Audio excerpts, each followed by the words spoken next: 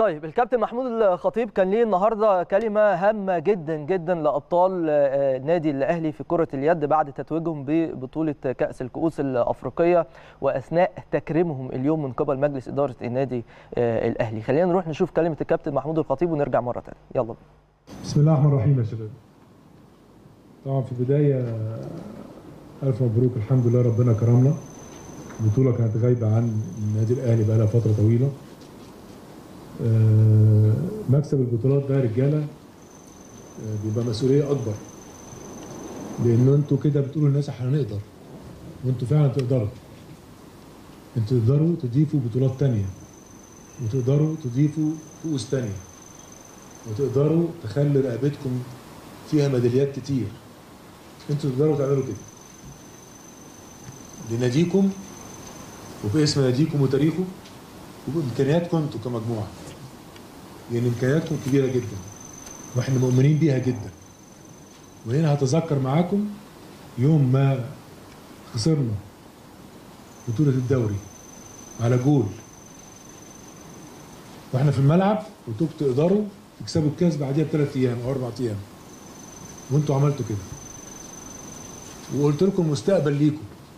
وأنتوا فعلا المستقبل ليكم. إن شاء الله يعني. بس أنتوا بقى ابتديتوها بدري. ببطوله قاريه كبيره. عشان كده المسؤوليه بقت زياده عليكم. أنتوا فعلا تقدروا تحققوا لناديكم ولنفسيكم. تقدروا تحققوا حاجات كتير جدا. إحنا كل اللي نقدر نعمله بس إن إحنا بنحاول نوفر لكم الإمكانيات كلها اللي تقدر تساعدكم. لكن ربنا سبحانه وتعالى بيدي مواهب وانتوا المواهب اللعبة دي. وعندكم قدرات إنك تقدروا فعلا تخلوا الفترة اللي جاية دي إزاي يكون البطولة جوه النادي الأهلي؟ أو البطولات جوه النادي الأهلي. فمحتاجة شيء من يعني القوة تزيد والروح تزيد والالتزام يزيد والتركيز يزيد عشان كمان البطولات بإذن الله تزيد.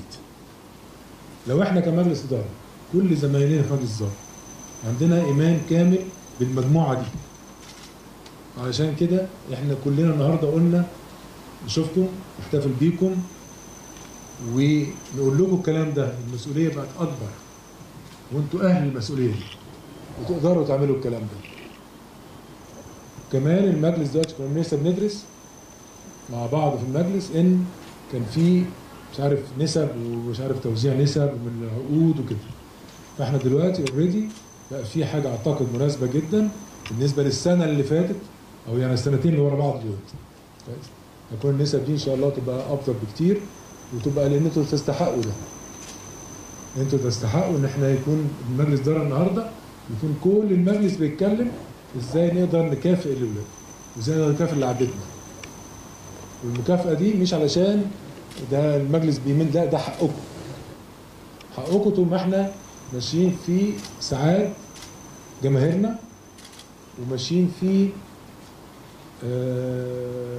تركيزنا والتزامنا لإضافة تاريخ لناديكم وتاريخ ليكم.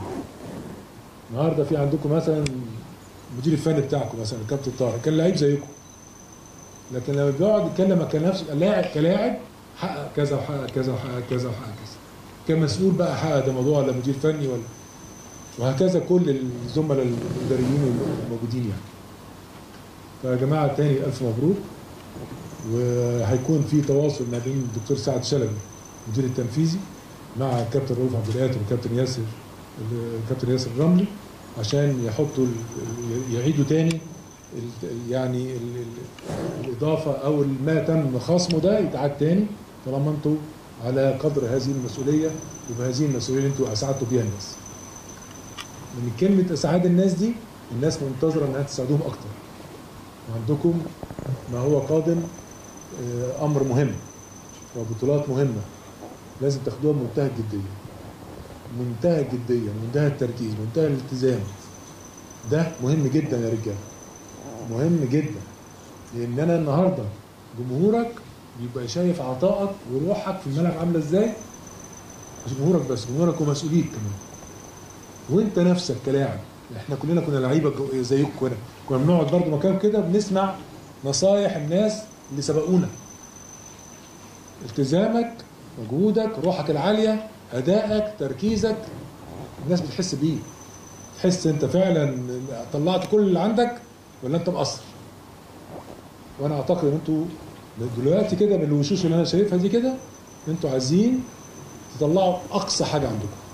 ده اللي وده اللي إحنا منتظرين منكم إن شاء الله. مرة تانية ألف مبروك. آه، دكتور سعد عندك حاجة تانية يا حبيبي.